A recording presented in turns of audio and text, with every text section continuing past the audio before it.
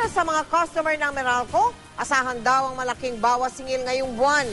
Ang mga kumukonsumo halimbawa ng 200 per kilowatt hour na kuryente, may gitatlong daang piso ang mamemenos. Nakatutok si Bernadette Reyes. Matapos ang tatlong buwang sunod-sunod na dagdag singil sa kuryente, makakaluwag-luwag na raw sa gastusin si Ason Rebocas. Sabay-sabay kasing bumaba ngayong buwan ang transmission charge dahil sa pagbaba ng singil sa ilang serbisyo ng National Grid Corporation of the Philippines, system loss charge at generation charge o bayad sa paglikha ng kuryente. Kaya ang isang bahay na kumukonsumo ng 200 kilowatt hours kada buwan, makakaasa ng 1 peso at 73 centavos per kilowatt hour na bawas singil sa kuryente o katumbas na 346 pesos ngayong Setyembre sa kanilang Meralco bill. Malaking tulong po. Mas mala- malaki talaga dahil marami kaming balak na ano pa, pagbibilhin namin ng gamit.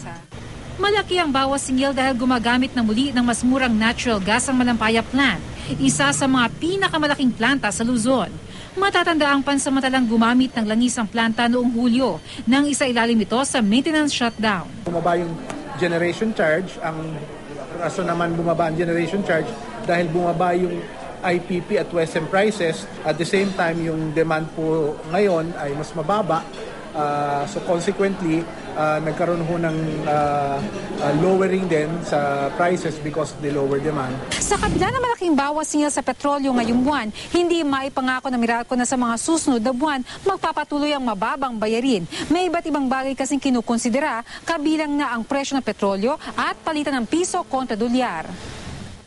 Kaya si Noel Mante tuloy pa rin sa nakagawi ang pagtitipid. mas matipid siya kumpara doon sa mga bumilya na mapula ang kulay kasi yun ay malakas talaga ang kilowatts nun ikumpara dito sa mga fluorescent na ganito dahil mababa lang ang kilowatts kaya mababa din ang kain ng kuryente.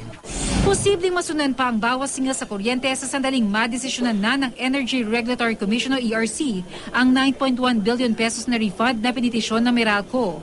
Kaugnay ito ng nadoble umunong singil ng Power Sector Assets and Liabilities Management o PISAM sa transmission loss charge mula July 2008 hanggang May 2012. The matter is pending before the ERC, so we'll just await the resolution of the ERC of the case.